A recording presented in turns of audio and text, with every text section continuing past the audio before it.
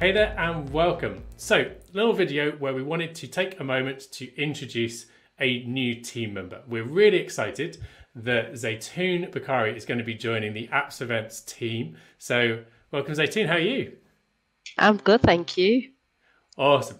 We wanted to take a chance to kind of uh, obviously introduce you, uh, get people familiar with with the wider team. Um, so yeah, that's what we wanted to do. So first things first, I don't know if you want to take a moment to kind of introduce yourself, kind of your background, and then we'll get started and get a bit deeper. Awesome. So I'm Zaitoon Bukhari. Um, I'm the ATC lead, EdTech lead um, in the northwest of England. Um, and that's my current role as well as doing what I'm doing with apps events. Um, my background is uh, I'm a human biologist by background um, and a physicist. Um, so I was teaching in secondary for 14 years. Um, and I'm still doing a bit of teaching. I've, I've, I've done some this morning as well. But um, it's nice to be in the classroom. But that's my background. That's that's that's where I've come from. Um, and, and and so far that's this is where I am. And now with the EdTech role, um, this is my next step and my next journey. Yeah, so obviously your your role encompasses edtech across your across your trust. A similar role to that that I had um, in a trust sort of further down south in the UK than yourself. Uh, so, how did that kind of edtech journey start? Um, what's been the trajectory from classroom teaching through to supporting so many people with edtech? Yeah, so um, that journey started about six, maybe seven years ago. Um, we were on a parents' evening one evening, and the deputy head teacher at that time turned around and said, "Well, we need to figure out a way that we could use technology to reduce our costs basically across the school. And we were at a point where we were about to renew various licenses across the school. And um, he mentioned Google for Education. And that was the first time I heard of Google for Education. Um, and I was like, okay. So I went away, did some research. Um, and, and I came back to him and said, I like the look of this Google for Education. Um, and let's start, start having a look at what, what it encompasses. And then we were very, very fortunate to start to really drill down into what it is and all the different apps and start to use some of those apps and, and see how they can be used within the classroom and teaching and, and all the rest of it. Um, but then I got um, one amazing opportunity, and that was to go to Zurich. Um, and it was actually an apps events boot camp that was happening. Um, and there was three of us, three teachers who went, and we went and we. It was the first time we experienced how far ahead some of those European schools are with the use of technology in the classroom, and especially with the use of Google for Education. Um, and it it just lit a light basically, and we brought it all back, and we said, right, this is the way we want to go forward with this. Um, and from there, the passion grew. So I got my level one educator. Oh, this is all right. I'll go for level two educator. Um, and then I was like, right, I need to work towards this trainer. Now, I did it very traditionally. I, I did all the the background training and, and read up on everything and, and did the application. It took me about a year to get myself prepped and ready for this trainer. And then as soon as I got into the trainer and became a trainer, it just opened up this whole community of people who I never knew existed. Um, and and majority of them being on Twitter. So from there, the journey just carried on going. Um, I then, good a year or so after, I thought, well, the next step is an innovator. And um, I came up with an idea across the school, and I thought, well, this is a nice idea for our CPD. Let's take this to Google uh, and see if I get in. I was rejected first. I was so gutted. I was rejected. All uh, the best people are rejected the first time they apply to the Innovator Academy. Yeah. Just putting that out there. and then um, I went and applied again in 2019 and I got in. And that in itself, I thought going to Zurich was was an was an opportunity. But wow, the innovator! There was 36 of us from around the world, um, all sat in one room, all with these different types of ideas about how technology can improve um, education um, and and just working with these people for three three days non-stop from morning right the way through to the point we were going to bed and you know it was it was really intense, but that that became our little family. And even now, what we're in 2022 now, and, and we're still a very close knit little group. Um, so then I became a Google innovator um, and I launched the CPD dashboard that we have at our school. That's now been incorporated by various schools. We've won an award on that as well. Um, and then from there, I was approached by Google to have a go at the coaching program. Now, that's very new in the UK um, to become a certified coach, a bit like an instructional coach in the US. Um, very, very different in the UK. Um, but we're one of 24 in the UK to, to be approached for that. And, it, and again, I took that opportunity with both hands and, and I went with it. What that allowed me to have an insight into is the pedagogy behind the EdTech. And it's not just a tool that you would use, it's the understanding as to why that tool will be important, um, aligning it with school goals, all those kind of aspects that as a management you wouldn't you know you you would really think about it but as somebody who's just training on on you on the use of an app you wouldn't really think about it so that really opened up those opportunities for me um, so that was my edtech in terms of certification um, um, journey um, and that then leads on to my school journey so within school i i started off with just being the um, Chromebook parental liaison. Okay, I've, so... I've, not heard that role before. That's a new one. I think all my roles were new because I think they were just thought of um, on on the spot there. So basically, my job was to sell Chromebooks to the parents and, and get the buy-in, um, as well as teaching science and everything else on the side of it. So I really spent two years or so just just really planning out these Chromebooks and, and selling them to parents and and, and using them in school. So we're one to one with Chromebooks in the in the school that I was working in. And that then led to an edtech lead kind of role within the school. I like to call it edtech and not Google, simply because there it's not just Google tools that we use in the school, it's a whole host of different type of technical tools that we might use.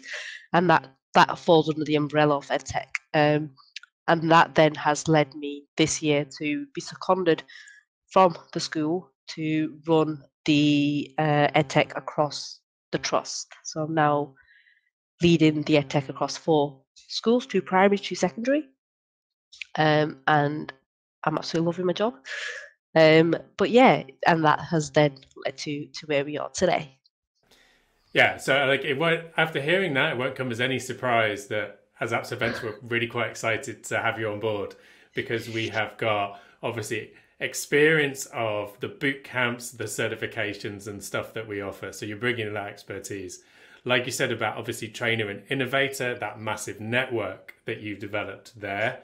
Um, and also with the coach, when you said like connecting the pedagogy, that is obviously something that um, we hopefully pride ourselves on is is that that bridge technology and pedagogy and, and weaving that together nicely. So obviously just adding so much value to all the things that we offer. Um, so it's really exciting for us. Um, now you may you mentioned Zurich and summits, uh, and hopefully you'll forgive me for this, but uh, we did we do keep a lot of the old schedules that we have around. So here we have it, the European Summit from 2016, and we have your session uh, choices in there as well. So you can see some of the the great things we used to do back then. So yeah, a good blast from the past, um, but quite an interesting kind of obviously sort of uh, journey with apps events as well as I know you've worked with many other kind mm. of um, PD and sort of tech providers as well. Um, so you're you're also quite familiar with with the world that we operate in too.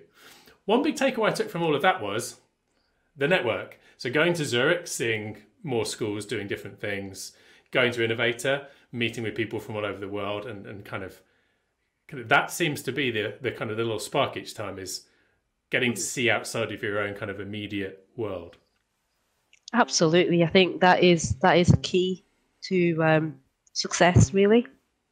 To get out and see what other schools are doing what other communities are doing um, and to get an insight into how you can enhance what you're doing. Um, and you can only get that from communicating with other people and seeing what, what they have on offer and listening to their stories. Um, and I was very, very lucky to not just constantly talk to teachers, but but be invited by Google to um, talk at uh, the Chromebook Summit events, for example, where all, they've got all their main um, partners coming in and, and, and talking to people from industry from that from that aspect and being asked whether um, certain features within a Chromebook are useful or not. Things like that all make a big difference um, from a teacher perspective because we are the ones who use use the products on a day-to-day basis. We are the users at the end of the day, um, and to have our voice heard, that is that is a really important thing. Um, so yeah, so I think the opportunities have been have been coming, and I have been taking every single opportunity with both hands and saying yes, I'll come and do that. And it and it does mean a bit of travel, and it does, but it's all well worth it. Now, talking about the so obviously the network taking those opportunities, it won't. I mean, many people watching will be uh, inspired by your story, but it's fair to say there will be some people watching who are particularly interested to understand how you got to where you are because uh, you talked about going to edtech events. Um, we've both been to many, and it's probably very clear to people who've attended them that a lot of the people presenting and attending edtech events more often look like me than than look like you. So for those people watching who are thinking along those lines of like, this is really interesting. I'm really inspired by this, and we already there's a number of people we've worked with who've told me they're inspired to see you as an ed tech lead. It gives them uh, the ability to kind of keep on striving for more and more and more. So in that way, are there any tips or advice or, or words of encouragement for people who are watching and thinking, I want to follow in your, uh, in Zaitoon's footsteps?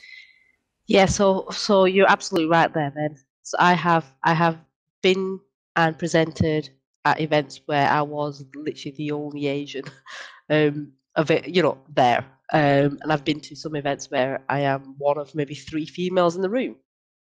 Um, and it, and it does and it does make you think that you know there are so many females out there who are leading the way with technology and education and tech in general and then there's so many asian or diverse or inclusive people out there who are doing amazing things and i think top tips from me would be just be yourself from from when I've I've known Ben for a very long time now. From from the first day I met him to where I am now, I think I'm exactly the same. I haven't changed. Um, so be yourself. Definitely get onto networking with with different communities. Uh, get onto Twitter. It's the best place to to to meet people in your area, and yet you will not believe how many people are working in and around the same areas, doing the same thing, um, and just network with other people. And lastly, don't be afraid to ask if you know there's an event going on and you have an, um, an experience in that event reach out to people and say, well, I have this on offer, or I can talk about this, and and let them come back to you, um, and and really get out there. And I think that that is that's my top three tips. I would say. Awesome tips as well, and I think the reaching out is really important. Like as a professional development provider for schools, um, the thing that adds value to the work that we do with schools is people like yourself who are in schools doing it. So as well as obviously the classroom teaching, which you did today, you're also looking strategically at those pedagogical goals and how the technology can support that. So, for anyone who's doing that, for anyone that's trying stuff out in their classroom, um, you're probably doing things that we haven't thought of, that we haven't really considered, um, and therefore a little pitch of a session. Now, obviously, it's something that, we, like, if we go back to your uh, uh, European summit that we just showed, back when we were doing more of those in-person events, we had the option for people to submit a session that they wanted to do at this particular event. And that's where we got a load of our speakers who work with us now from.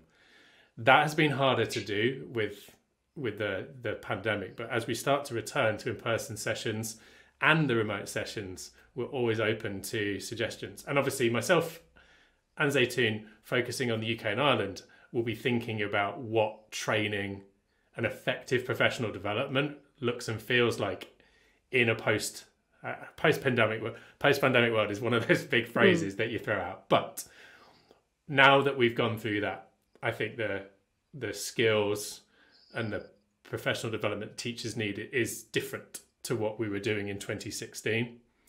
Absolutely. Um, so we're going to be working to put out more and more offerings. Um, so and we'd really love to hear from from anyone who thinks they've got the opportunity to to share some more uh, amazing sessions and, and, we can work with you even more as well. So that's our aim. Um, we're going to be putting our heads together to come up with some exciting things for 2022 and uh, it's exciting for us because with Zaitoon, with your experience that covers all of the certifications, the schools that you're working with, um, your focus on pedagogy, it's a it's a bright 2022 for me. So thank you so much for joining us and sharing, um, and hopefully for everyone watching, an opportunity to meet one of the members of the team.